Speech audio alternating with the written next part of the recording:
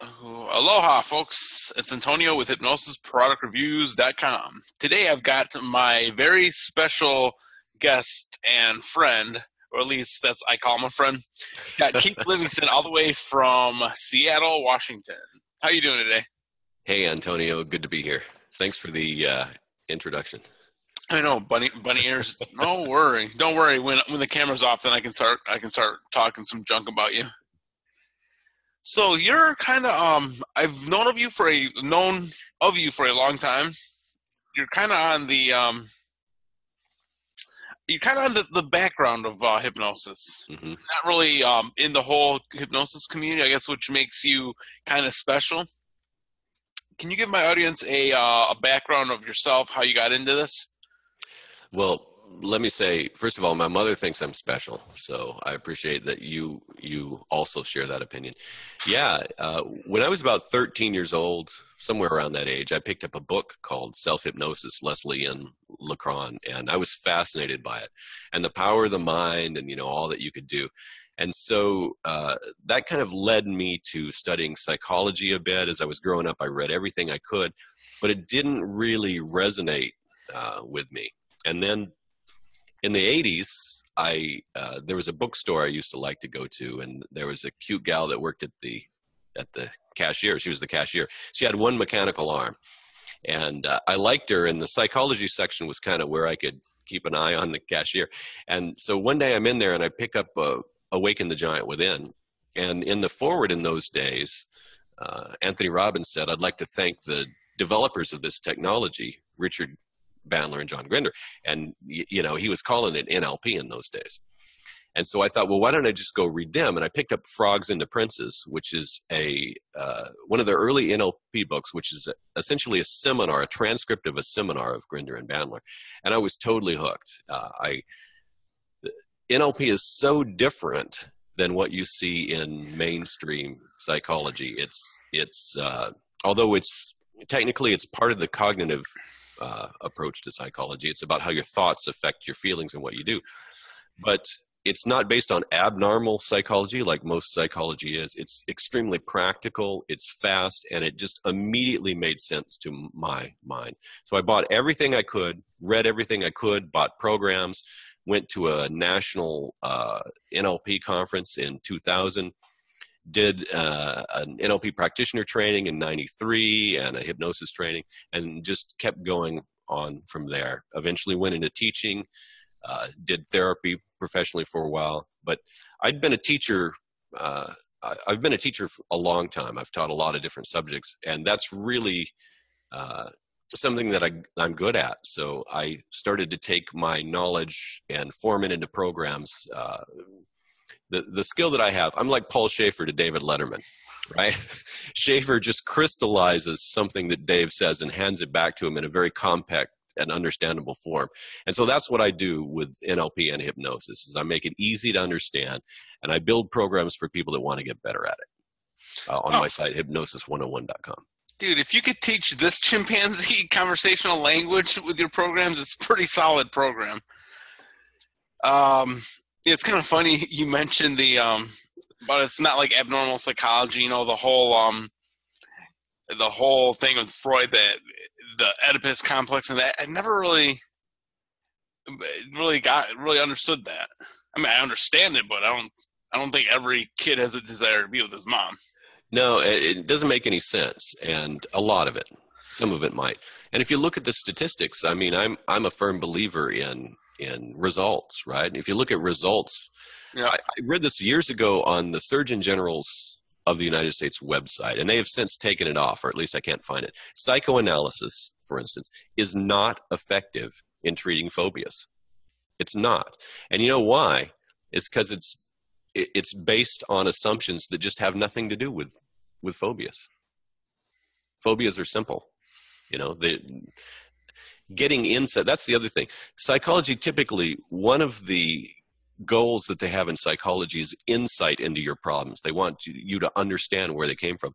But there's two problems with that. One is that having insight into your problems doesn't necessarily solve them. You can I know tons of people who know where their phobias came from. and uh, that doesn't cure their phobias. Nope. So the, the other problem is that sometimes that's a long and painful process to get insight. Uh, I'm not saying insight's bad. Sometimes insight helps, but it's it shouldn't be the goal. Yeah. Oh, I see what you did there. Yeah, it doesn't really doesn't really help. I was gonna follow it up with a funny joke because I'm always full of them, but I totally forgot. Um, I don't know. Well, actually, speaking of jokes, we're gonna we're gonna get into the uh, main material. Give my audience a jokes. I know you're full of ambiguous jokes.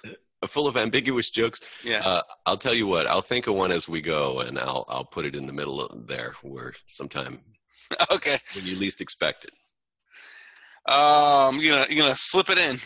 You're gonna be like, uh, what's that? The the Freudian slip. I didn't Yeah, know he was a transvestite, but go on. Oh boy, you're See, bad. there it is. There it is. But don't. So, uh, one. Are you waving to people? No, thank you. I'll be here all week. Uh, Like, thank you. Thank you. I also do. I also do kids parties. so the one thing I wanted to get really good at is conversational lang- uh, conversational language. I guess um, conversational language is a good thing. Conversational hypnosis. Yeah, conversational language. I just talk to people like, "Hello, me, like you. Talk later." Let me rephrase that. I mix some words. We get good at conversational hypnosis, and specifically the Milton model. Uh-huh. Uh, pick up your program, the Practical Guide to Conversational and to Covert and Conversational Hypnosis with Keith Livingston and Jeffrey Ronning. Freaking killer program. Thank you. Thank you, thank you very much. So um, let's dig into it. Talk about um, conversational language, Okay. Conversa- conversational hypnosis, the Milton model. So uh, let me ask you a question before we, as we dig into this. Actually, is so what interested you? What? Why do you want to become better at conversational hypnosis? for one thing is um uh, for change work to help people change also for sales for a current job which i'm not going to be at much longer um basically being able to persuade people persuade people to um to my ideas. Another thing that i'm working on is helping um, you might know this i'm helping hypnotists to create some uh, better sales copy. Hmm and so maybe sometimes if I need to convince them, and sometimes with people that need to um that need better marketing, it might not they might have a um an emotional sorry, they might have an emotional block that's that's holding them back. So I want to be able to if I talk to them, I want to be able to help them get past that emotional block. So basically, uh, persuasion, and uh, it's an interesting thing to think about persuasion for me, and I've thought about it a lot because persuasion in therapy is not very much different than persuasion in sales. And it's not very much different than persuasion in relationships. And I think those are the three big areas that people look at. They want to help people overcome blocks, whether in therapy or something else. They want better relationships, uh, and they want uh, many of them want to sell. And for a lot of people sales is a dirty word but almost every situation you're in is some sort of negotiation. If you're communicating with another person in a relationship for instance there, there's negotiations going on all the time and to be able to effectively get your ideas across and pass their whatever barriers they might have is super important okay so the, those are very common the the thing the things that you said are very common things that I hear when people approach me about covert hypnosis and conversational hypnosis. Okay, so how would you like to start digging in? Uh, well, one thing. Let me see. Look at this manual. Have um, you know, you're talking about pacing language. Well, using pacing language, pacing statements. Like when I use them at work, know, my main job, what I do is I, I um, convince people to do a timeshare presentation to um, save money at activities on their vacation. So it's I don't have, really have it something here. Usually, I'll have a um, uh, we call it a vacation planner. It'll basically be a planner with all the basically it'll say like Monday, Tuesday, Wednesday, etc. So I'll do it simple. I'll say, you know, so today's Monday. You leave. You leave this Friday. You're looking to do a boat Thursday. Perhaps you'd like to get your uh, your hands on some discounts. Which I know the, all those statements are true, but they for some reason it just feels kind of awkward. Almost feels like it almost feels forced. If that makes any sense. Yeah, uh, it does make sense, and I think that's a that's also a common thing as people learn the hypnotic language uh, patterns. L- let me back you up just a little bit. So you're talking about uh, a pattern that's called pacing current experience. Yep. And that is a famous, famous pattern in Ericksonian hypnosis and conversational hypnosis. And essentially, it means uh, saying things that you know are true in another person's experience.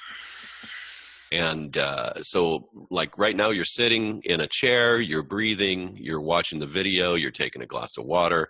Those are all things that I know to be true in your experience. Now, the more that I, the more that I reflect that with my language, the more internally, at least if you're somewhat open, you're mentally going yes. If I say, "So, Antonio, you're sitting in the chair," and you go, "Yeah, I'm sitting in the chair," and so you get that yes set going, where yes, yes, yes, yes. And then when you take the person to the next step, which is something that you want them to do, they're much more likely to say yes because they've got that yes frame of mind going. So it's kind of like it's kind of like the um, I was actually writing an article about this yesterday for somebody. It's kind of like the uh, pacing statements almost kind of grease the track up.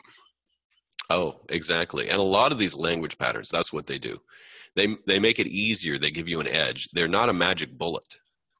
I don't know what a magic bullet would do conversationally, but No. uh, but I guess we need grease. You hold up like this, be like, "You better listen to me." Like, okay, well, that, that is one way to convince people. So, yes, they make everything easier. However, you're correct. If I said to you, if we started a conversation and I said, Antonio, you're sitting in your chair and you're breathing and you're looking at the screen, you would go, What the hell's wrong with you? Why are you talking this way? exactly. right? So uh, you have to learn to work it into your process. In well, there's there's a couple of different ways to go. You could just not worry about it. If you've read about Milton Erickson at all, he was not afraid to be weird, right? He would just kind of freak people out, Yeah. and they wouldn't know what to do. Right. So uh, there there was a case uh, back when I was, I believe I was president of the state NGH chapter here. Well, I know I was president of the state NGH chapter here, but I believe I was at the time, and I had a, an Ericksonian hypnotist come out to talk. And she left, uh, she came out of the bathroom and she had toilet paper in the hanging out the back of her shoe, like stringing along, like four or five feet behind her. And she went up and she started the talk. And everybody was like, what do we do? Uh, Do we tell her what, what's going on? Turns out she'd done it on purpose, right? her idea was to get her conscious mind f- focused on something else while, so while she delivered the message That's brilliant. it was it was really interesting so and she got me too of course so she obviously wasn't afraid to look or seem awkward as she was talking. So one approach would just be to say screw it i'm going to be awkward. They're going to look at me like what am i talking about what's this guy talking about? And erickson certainly wasn't afraid to do that. He he saw his goal in helping the client much more important than what they thought of him. Uh, the second thing you can do is find points in your process where it's easier to work those pacing statements in, uh, and it's it's it's really easy, especially when somebody gives you information, right? And you say, "Okay, let me make sure I have this straight. You're here on Monday. You're leaving on Friday." Right? That's much more natural. Okay, that's what I'll do. Is I kind of do a recap. I'll ask them like, I give them a brief description of the boat, what it does. So I'm like, I'm like, so let me get this straight. I'm like, you're here. Uh, you got here yesterday. You're leaving uh, Monday. You're looking to do um, a sunset dinner cruise on Friday, whatever. And perhaps, and perhaps you might want to blah blah blah blah blah blah. Yeah, you might want some discounts on that. Is that right? Oh, yeah, you might want some discounts on that. Um, what would a tag question on that be? You might want. We'll see. Trying to think. So you might want some discounts on that, right? Something like that. a, a tag question uh, would would be uh, would you maybe would you not yeah, would you not? and uh, so antonio just brought up tag questions and tag questions are questions or they can be questions that are stated in the negative and uh, sometimes people are conflicted about something right? They have part of them that wants to do it and part of them that doesn't want to do it and a tag question gives them both sides of the equation so it, it kind of gets rapport with with both the want and don't want and at the same time it leads them to doing it. So is that like some discounts would you not yeah and that's real similar to what people would call um I think salespeople. I think salespeople refer to them as tie downs, like a like a tie down question. It's a little bit different, I think. Oh, okay, okay. Actually, back to the thing about pacing. Um, I think one one thing I was a little nervous is you know obviously being awkward, which I I can be awkward at times, but um, not so much awkward, but I was also looking for different ways for um, uh, verbal pacing. So mm-hmm. I know you've got like you know as you're sitting there listening to me, things like that. Are there any other, I guess, verbal pacing statements that you've developed over the years or that you've just incorporated? It's it's much easier if you have a context which you repeat over and over again, which which it sounds like you do. In the hypnotist's office, it's easy. You're sitting in the chair, you're listening to my voice. You came here to um, change such such a habit. It's easy because you just get used to it. So I would just look. I would just look around uh, and and use that kind of thing. But the other thing that I would encourage you to do is to pace in other ways. If if you don't feel like you can just do this verbally easily, pace in other ways. Pace their body language, have the same body language, have the same rate of speech that they do, time your speech to their breathing, uh, use back any key emotional words that you hear them saying. And they're like, oh, well, we don't care where we want to where we go to dinner. We just want to have fun. And then you know, okay, fun is a word that they landed on and that's important to them. So you feed that word back to them. So it's not all. Uh, I mean, pacing the with verbal statements that just tell them what's already going on in their experience is only one very small part of of pacing. So the so the most important thing. So what I'm hearing, the most important thing is using an an, an undefi- uh, undeniable truth, a truism. Yeah, that's well, that's the pacing technique, and typically what we say in NLP is pace, pace, pace, lead which is you give three statements at least that you know are true, and then one that you suspect or would like to be true. And that's one of the other patterns, which is called mind reading, where you say, You may be wondering how much this is going to cost you. And the chances are that's true. And you've just led. Uh, so, yeah, a combination of, of undeniable truths and maybe a little mind read in there. Okay, the um, I definitely like the mind read because it's funny that you and Jeff on the program talking about you don't really like the the statement of mind read or how they call it mind read because you're not really reading somebody's mind. Because I mean, let's make no bones about it. Most people, if you read their minds, it would be boring as hell. be boring as hell. Like I'm done. I'm done. Some days, if you read my mind, it would be. Uh... What am I gonna What am I gonna have for lunch? what am I gonna have for lunch? Yeah. So the, my, uh, what are some other examples of uh, how do I how would I I'm trying to get my head wrapped around uh, um, actually I know what a mind read is but I'm trying to help my audience understand. It's, it's not so it's psychic. Okay not psychic. It, it's like a good educated guess. Yes.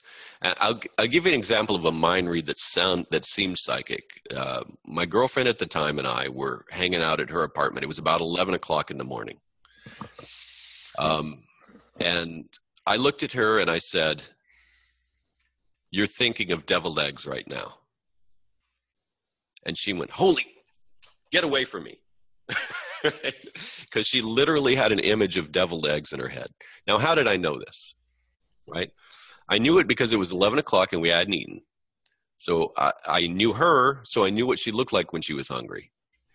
Uh, she had glanced in the direction of a grocery store. You couldn't see the grocery store from from her place, but she looked in that direction.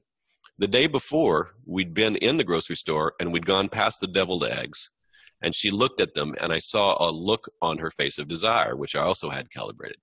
I saw the same look of desire on her face about 30 seconds earlier, she'd used the phrase, What's good for the goose is good for the gander. She had never used that phrase before in the years that I'd known her. So all these things together led me to believe that she had an image of deviled eggs in her head. And and so I said, You're thinking of deviled eggs right now. And it totally freaked her out. Now that was a that was a very complex mind read. But you can do something uh, in when you're working with someone, either in sales or in a relationship or in therapy, you can make some very small educated guesses like and and you you know and if you see them lower their shoulders and breathe deeper you say and you're relaxing more that's a mind read and what that does to the person that you're saying it to is they start to go this person gets me this person understands me. It's it's like Erickson would be. Is is it similar to Erickson saying that's right? It just reinforces what's happening. Yes. And the, that's right. So that's a, a, common Ericksonian technique where you say that's right. It, you've hypnotized a lot of people, Antonio, and you know that they're often wondering if they're doing it right or if it's happening the way it should be. And if you say that's right, for most of them, that will give them a sense of, okay, it's all going okay. I'm doing it right. Yeah, my girlfriend, she um sometimes I try to mess with her. I go to give her a, a hug and I do that same Eric. So I'm like, that's right. And she's like, nah, she's like, it doesn't work in every context. No, it doesn't. Some people react to that particular phrase. You know, yeah. sometimes I mean you can use good, excellent, you're doing fine. And but you know, maybe somebody said that's right to them when they were in kindergarten and right then a piano fell on their head, so they don't like the phrase. So well, if that's the case, they got something worse happening. yes, maybe that's what you're there to to help them with.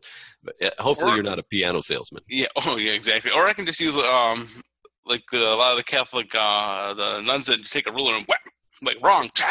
Exactly. So, you know, when, but when somebody reacts poorly to something like that, I mean, you just use your eyes when uh, and your ears when you're talking to somebody and you say something, and they look like they react badly, you switch it. I I used to sell uh, clothing at JC for JC Penney. I used to work in the men's suit department, and sometimes I would say something, and they would get this horrible look on their face, and I would literally step to the side, point to where I was just standing, and and say, "That's the kind of crap most salespeople say, isn't it?"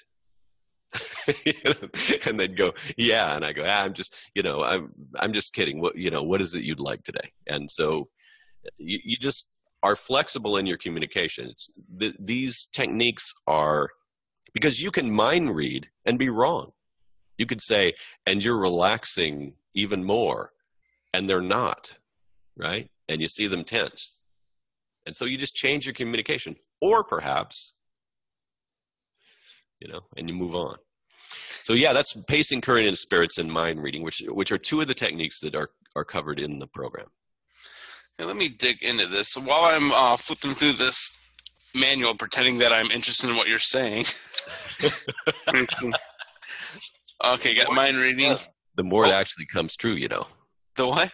The more you pretend, the more it comes true.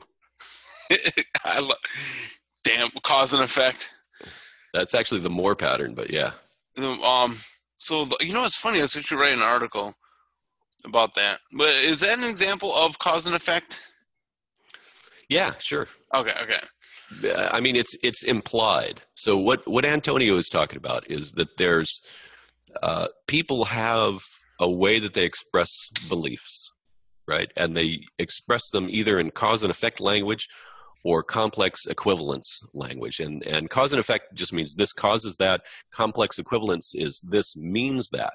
So uh, I could say the fact that I come from a heavy set family means that I can't lose weight. That's complex complex equivalence, right? Yes. And so that's that's the way that people would express a belief. And somebody might say to you, "Oh, I can't lose weight," or "I don't want to buy this timeshare," or or uh, "I don't like you," or whatever. And then you might say, "Why?" Why is a question we don't often ask in NLP, but this is a good place to ask it. Why? Why can't you lose weight? Well, because uh, exercise is boring. Okay, so the fact that exercise is boring means you can't lose weight, or the fact that your genes are a certain way means you can't lose weight, or the fact that you've got a disease causes you to overeat, and that overeating means that you can't lose weight. So that's the language of belief, and uh, it's useful if you can communicate back to someone in a language of belief. You can help to build beliefs in them, and so we just turn those language patterns around on them. And the more, the more is one such pattern. So that means the more you listen to Antonio and I about covert and conversational hypnosis, the more you understand about it. So listening more causes more understanding.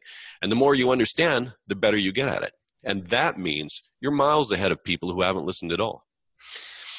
You know what's funny is when I was going, I've been going through a program.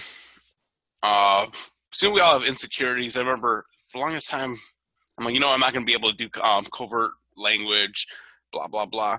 And I realized I'm using a lot of the stuff when I'm actually when I'm actually doing a formal trance with somebody. Like you know, you're sitting there, you are listening to the sound of my voice. You can feel the the chair below you, and you've got your friends here, so you know you're safe. Blah blah blah blah blah. I'm using it. Yeah.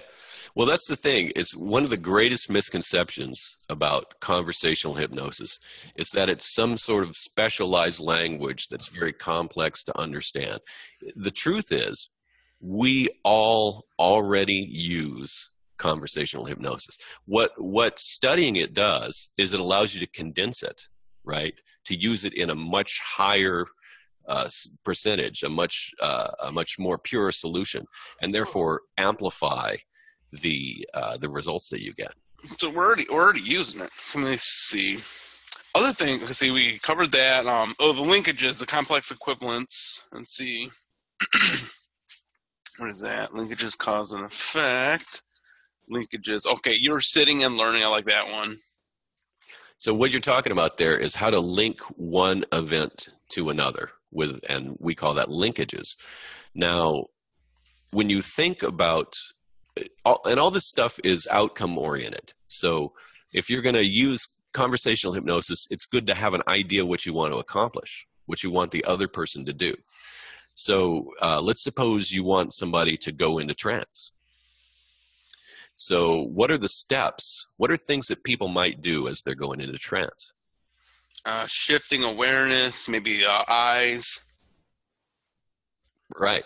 So you you take the eyes might close. Uh, so you take something that you absolutely know is happening or is going to happen, and then you just link it to that next step. So you're sitting, and your eyes close. You're sitting, and perhaps your awareness shifts. Okay. So there's all kinds of work. Yeah, go ahead. So um, uh, you know the the whole things of um the, the specific but not spe- um vague but specific language, uh, feeling like certain feeling uh, feeling certain sensations. So you're sitting here and you're you're sitting here and you're noticing certain feelings and sensations. Yeah, that, those are two very uh, specific to Erickson techniques. I mean, before Erickson, most hypnotists were simply telling people to sit down in a chair and do stuff if you look at Dave Elman's uh, hypnotic techniques, he was like, sit down, take a deep breath. As you let your breath out, close your eyes. Uh, if they close their eyes too soon, he would say, stop. I didn't tell you to close your eyes. You know, do as I say when I say it. Right? Erickson was not that way at all. He uh, he had permissive language, and he often spoke in very general terms. Now, the, the idea is with permissive language, if I say, and you can allow your eyes to close, that's different than close your eyes. Right? Make, so, me, make me blinky over here. I know you can see it. So, which I love, by the way. That's one of my favorite things about teaching is watching the people just kind of, you know, go in and out of trance. I, I'll, I have a story about that later. So, some people, probably you and me included, don't like to be ordered around. No. Right? if somebody says close your eyes right now i'm telling you to i, I i'm going to have a tendency to go you know what no right but what if i say and perhaps you can allow your eyes to close that's a true statement and it's not even a command right? I didn't tell you to close your eyes. So erickson would sort of i think of it as sort of a smorgasbord. He would just list hypnotic phenomena, all kinds, and say perhaps you can allow your eyes to close, and that might lead to increased relaxation, and you might even yawn, and that's all perfectly natural, and that means you're going into relaxation in just the way that you want, right? So yes, Erickson was uh, permissive and also vague. Because if I say, and we're we're about to get into something called nominalizations here, um, if I say, um, go sit in the chair, that that creates a very specific set of things for you to do. It's it's not as open to interpretation as if I say, make yourself at home. If I say relax, that means relax whatever way you want. But if I say, you know, make your hand loose and limp and relax like a rag doll, that's more specific. Erickson was very vague, very general, and that allowed people to put their own, to come up with their own internal map. And the, the, the, the here's the problem with ordering people around. What you say might not match their internal reality. If instead you elicit their internal reality, it's it can be very hypnotic. So that's what Erickson would do. And uh, one of the ways he would do that is through what's called nominalizations, which are words that are nouns, but they're not a noun like chair. They're much more abstract. Freedom. Freedom, right. Excitement. So it's basically, I think you wrote in here, uh, a, a nominalization is a is basically a process. Is it? Um, yeah, it's a process. Yeah, I think you said it's a process that's turned into a noun, something like that. Yeah, because freedom. What, what can you can you put freedom in your shopping bag? Well, according according to this election, there's a whole bunch of freedom everywhere. you probably should put it in your shopping bag. So, uh, yeah. I got a, I've got a wall of freedom for you. Exactly right. So, in fact, politicians are great. Oh yeah, they're really good at nominalizations. When I say education, look, I'm for education. I support education.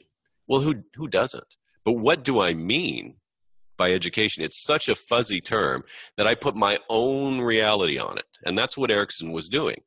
Uh, he would use such fuzzy words that people would put their own reality on. Like, okay, that makes sense. So, like, so like a politician saying, "I'm for job security." Well, uh, everybody, it's it's very it's very vague. So your job security is different than my job security.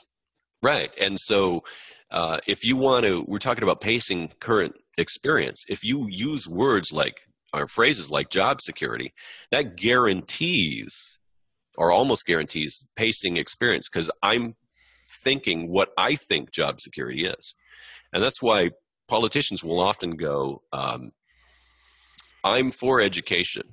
My opponent, however, voted against raising teachers' wages. Right? So they'll be very fuzzy so that they're sure that they're connecting with people when they're talking about themselves, but they'll be very specific when they're talking about their opponents.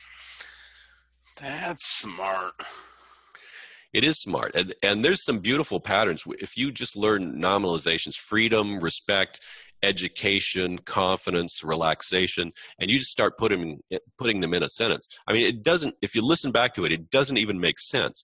But as it's flowing out of your mouth it's it's great to the listener. It's like when you discover the freedom that's inside relaxation and how it encompasses it you can find that the freedom expands in ways that you didn't even imagine. And that's really what healing is. My my my shift is boo, everything's going out.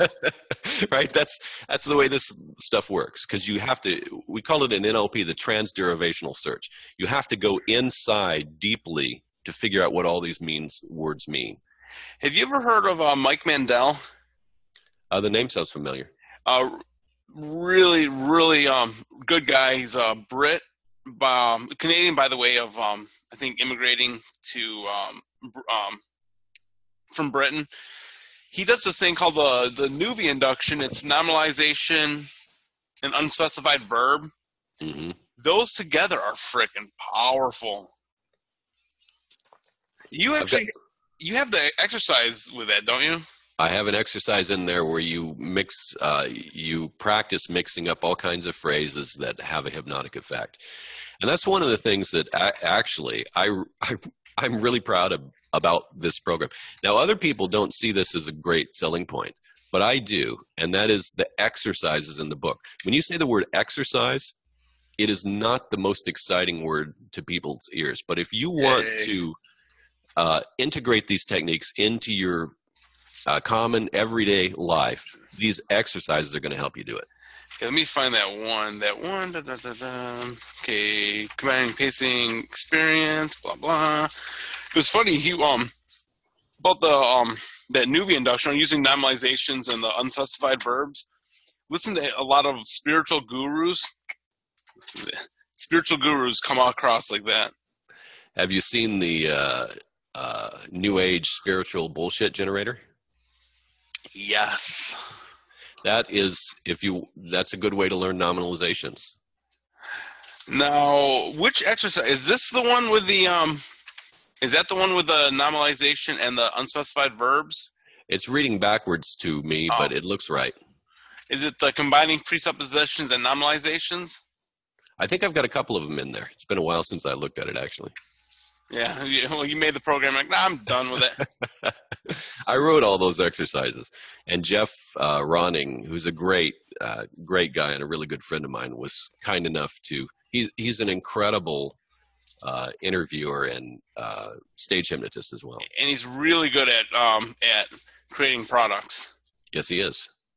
Now, if he could teach most hypnotists, mar- actually, no, no, please, Ronnie, if you're, if by any chance you're listening to this, don't teach hypnotist marketing that way. That way, I can actually sell my services to them. He's got bigger fish, fish to fry at the moment. Yeah, well, how's he doing? I know he's doing. Um, he's still doing all of his webinar stuff. Yep, he's doing great. Oh, he's doing. Last time I looked, I'm like, he's doing really good. Mm-hmm. Okay, let's see. Got that covered. Got a little spacey from you talking. Maybe maybe it's just that you're a very dreamy person. I was going to be a motivational speaker, but everybody fell asleep, so I decided to be a hypnotist. was that is that true? no. Okay. Oh, okay. Okay. That, that that was a joke that you were gonna you're gonna sure. But sure. Let's go with that. Um. Yeah. Don't worry. I'll I'll laugh. Give me like like an hour. I'll it'll catch up to me. um. The other thing I love about this program is presuppositions. And here I've got a got a little sinus problem, so so everybody know this is some eucalyptus. I've been having bad sinus. oh, right. Yeah. So, no, I think it's um you know what fog is a, vol- a volcanic fog. It's on the island right now, so it uh it's sulfur and everything. It just triggers um really bad sinus problems. Lots of particulate matter in the air. Yeah. Well, presuppositions are um, if I say uh, my youngest cat is the smartest. Can we what see? Have I, what have I presupposed? Cats are smart, and you have a couple. You have more than one. I have more than one cat, and the youngest one uh, is the smartest. Also, there's some other there's some hidden presuppositions in there, like I have some method to determine which cats are smart. I'm capable of knowing this. So here's a, a lot of these language patterns are based on this model of uh, conscious and unconscious minds. And the unconscious mind, as we know as hypnotists, is where the power is. So our belief systems, our habits, learned patterns, all that stuff, it resides in the unconscious mind. The conscious mind, part of its job is to keep stuff out that doesn't agree with those beliefs. So, uh, and the problem is if you're if you want somebody to change, if you want to sell somebody something, uh, if you want somebody to, to get over a habit, well, there's a, there's protective mechanisms in, in there to keep people from changing, or they just change willy nilly all the time. Whenever somebody said, "Hey, you're smart," they go, "Oh, I'm smart," you know. Yeah. So uh, a lot of these language patterns are designed to get stuff around the conscious resistance or the conscious uh, blocking and get it into the unconscious. And one of the ways to do that is with presuppositions, because the more you stack up presuppositions, the more uh, conscious mind power it would take to keep track of all those things. So if I say to you, out of my cats, the youngest is the smartest, there's three or four presuppositions in there that you would have to unpack and track down and specifically challenge. Wait a second, do I know that he knows how to how to um, tell the intelligence of cats? So, I'm sorry. So is it like we just take it at face value? Yeah, you take parts of it at, at face value. Typically, when somebody speaks, there might be something that you challenge, but you'll typically take the rest of it as the truth. Uh, okay. And so that's what we want to have happen. Um, so if I say, um, I don't know how quickly you'll go into trance. If you're going to fight something, you'll probably fight quickly. Oh, we're not going to fight the actual going to the trance bit. Okay. That's the idea. Now, you might. It doesn't always work that way. But uh, what I found is if, if you keep stacking up presuppositions, presupposition after presupposition after presupposition, you can only hold about seven things in your mind at once. And if you've got 25 presuppositions, not all of them can be blocked. Okay. Now let now let me let me put a caveat in there. We we all know there's one thing that can stop people from accepting hypnotic suggestions, and that is a strong frame of mind, a strong outcome that they already have that runs counter to that. So if you um, uh, if you're hypnotizing somebody and you say, and they're worried that you're going to try to steal all their money, and you say, now go to the bank and give me all your money, they'll go, no. They'll pop out of trance, right? So there, even presuppositions require or are better with a certain level of openness, right? And of course, that's helped with rapport. Uh, but presuppositions super super powerful. I don't know. Uh, would you rather go into trance in this chair or this chair? I did that at somebody tr- uh, met this lady who was doing a training here. Just happened to meet her, so I went up, um, just playing around. We're doing a they were doing a demo. I forget what it was, and one of her uh, students I was like, "Do you want to go to?" I was like, "Do you want to sit in the hypnosis chair or the trance chair?" She's like, "What's the difference?" I'm like, don't worry, you'll find out. And I think she caught on later. and even though I told the instructor, the instructor knew she she trained with Bandler back in like late seventies, so she she understood. It's fun. Yeah, it is fun, and uh, there's all kinds of different presuppositions you can use, and you can learn a bunch of them. One of the easiest is what's called uh, that. That one's called the illusion of choice. Yeah, so was, you give someone several choices, all of which lead to uh, where you want them to go. Uh, so, uh, would you like your arm to get lighter first, or do you want your breathing to slow down, or to close your eyes? It's up to you. Apparently, for you, it's close your eyes. So, my eyes are blinking over here. so, so that's giving people a whole bunch of things to choose from, all that lead to where you want them to go. And Another one is temporary. Let me uh, show this one. So I'm just going to show a couple pieces. So to show mm-hmm. you how nice the program is, and this is is that in reverse? It is to me. I don't know okay. if it is. It should. If it's not right, I will uh, fix it later basically about the illusion of choice. The good thing about this program, we'll get back to what you said, is um, it's very well put together, very uh, very organized, clean. Yeah, thank you, and I, I have to thank Jeff as well. He uh, Jeff interviewed me for this, and he is he really keeps the student in mind as he's interviewing and asks just the right questions to to to organize this stuff.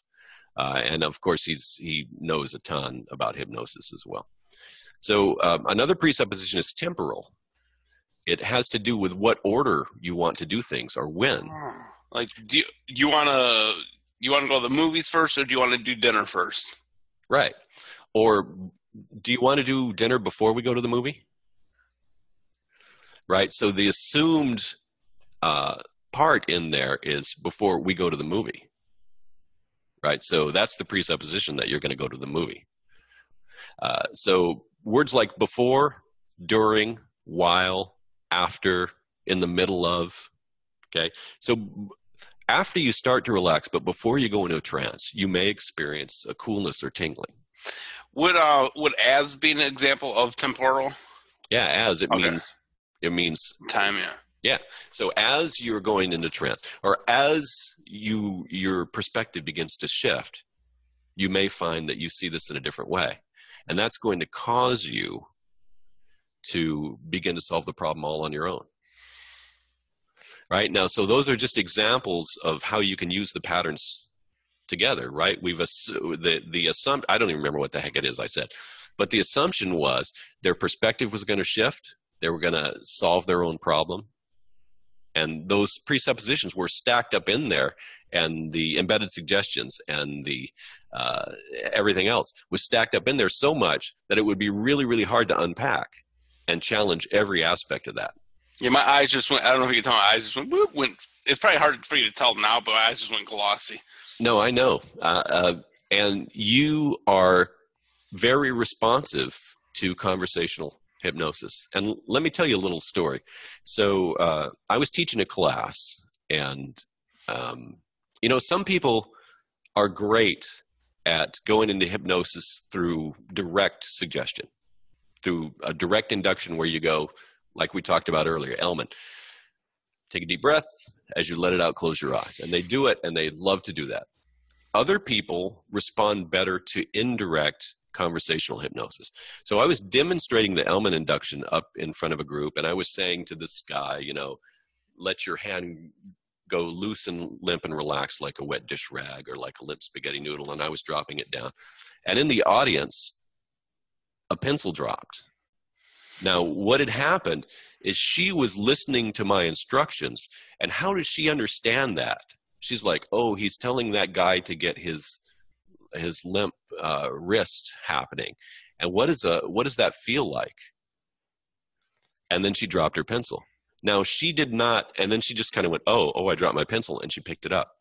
Now she's not aware that she's being hypnotized conversationally, but she is. So w- when you have only one of these skill sets, there's only a certain percentage of people that you can reach. When you have both conversational and direct hypnosis skills and you use them together, it multiplies Oh yeah. success. And the best the best hypnotists I know are going full guns whenever they're working with somebody. They've got all their tools out and they're using them all in combination. It's like you you know if you play basketball or or the flute or whatever, but if you play basketball, dribbling is just one skill. You know Yeah. you it's never used by itself. You never just dribble. You know dribbling goes with passing with setting screens. And then on the other end you have to play defense. So it's r- becoming really really good at this stuff is like a combination of stuff all working together all at once and you're not really thinking about it. It's just coming out of your mouth. Some brilliant stuff. Let's see. Covered a good amount. Um, we're gonna go for a little bit longer. Uh, if you look below this, I don't know why I'm pointing up here. If you look below this video, below these handsome guys, there's that joke. Below the handsome guys, why, why are you pointing at your crotch antonio Yeah. if you look below us handsome guys, you'll see a link for uh for his um for his uh program, the practical guide to covert and conversational hypnosis, not conversational language, because we've already. that's so funny. Now, um, so this part I don't know if I can edit out. Um, I can always edit this part out. We talked about earlier. Would you want to do something where you can make a bonus where you? Damn. Yeah, absolutely. Uh, what, what I'd like to offer anybody that uh, buys this from listening to Antonio's webinar here, or do you call this a webinar? Podcast, um, uh, e- e- ego stroke session, whatever. Whatever it is, just send me your receipt and say, "Hey, Keith, uh, I'd like your Secrets of Self Hypnosis program. I've got a self hypnosis program. It's gotten great reviews. I'm really proud of it, and uh, this will I'll give you access to it, and this will give you a format in which you can really use the power of self hypnosis to become even better at covert and conversational hypnosis. And I want everybody to be better at this stuff. You know, I actually uh, I got that conversational hypnosis or conversational hypnosis program. I got the self hypnosis program a couple years ago. Really easy, very very simple program. It's actually a training. I, I take people through because self. Wait, I'm sorry. Did you say did you say training or raining? I said training, but it is raining. Oh, is it raining over there? Let's see. It's so funny when you said that because it, it's downpour out there. I'm like, I was like, oh my god, did he did he hear that? His his his uh, skills of um, sensory acuity are insane. That's uh, that's um, yeah, that's no, it's a training. So the the thing about self hypnosis. Now you got me off track. Yeah. The thing about self hypnosis that I think a lot of people misinterpret is that it's a skill. They think they think hypnosis is something that one person does to another and then the magic is in the words. But learning to go into hypnosis is a skill. It took me a long time to learn it.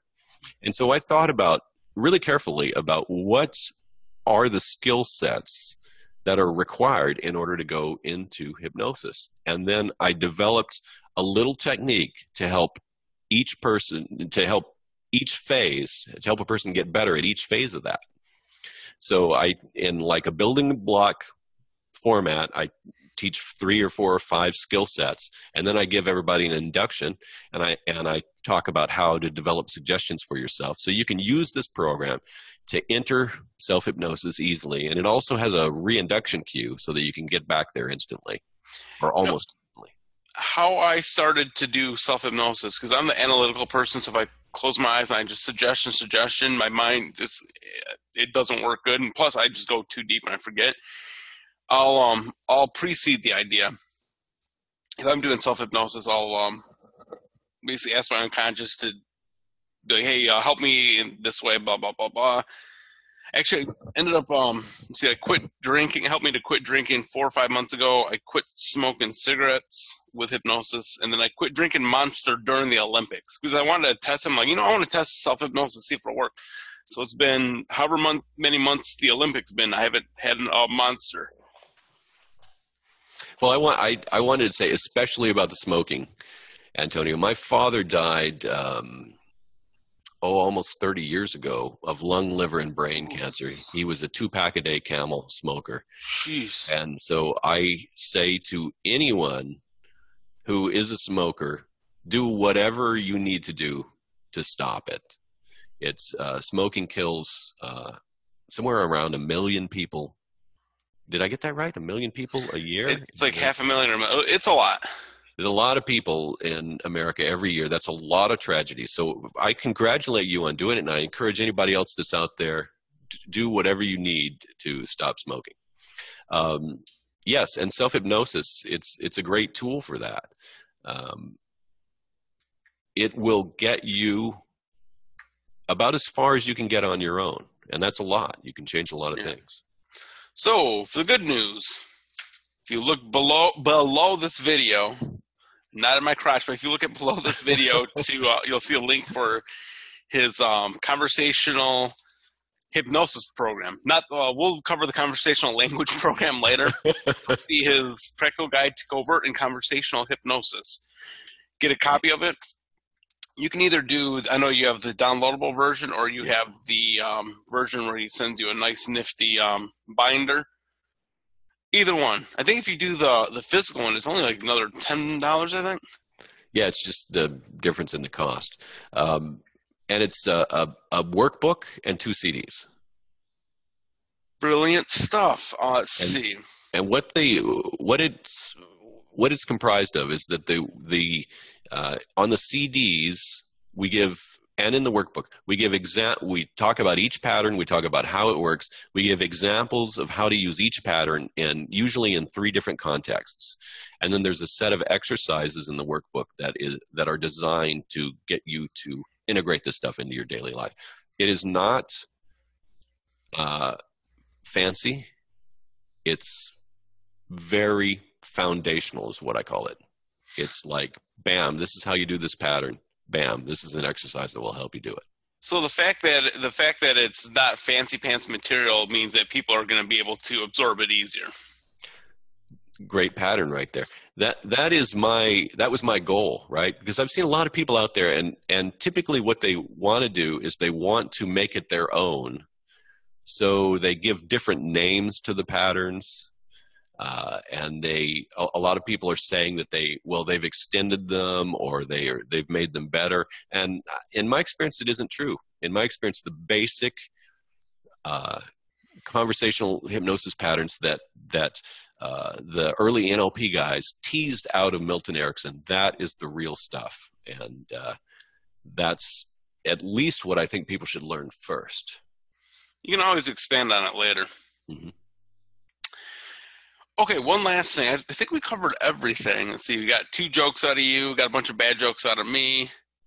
Um, I made a fool out of myself. Made a fool out of you we're probably to sever our friendship forever. Uh, oh, so maybe you can help me with this.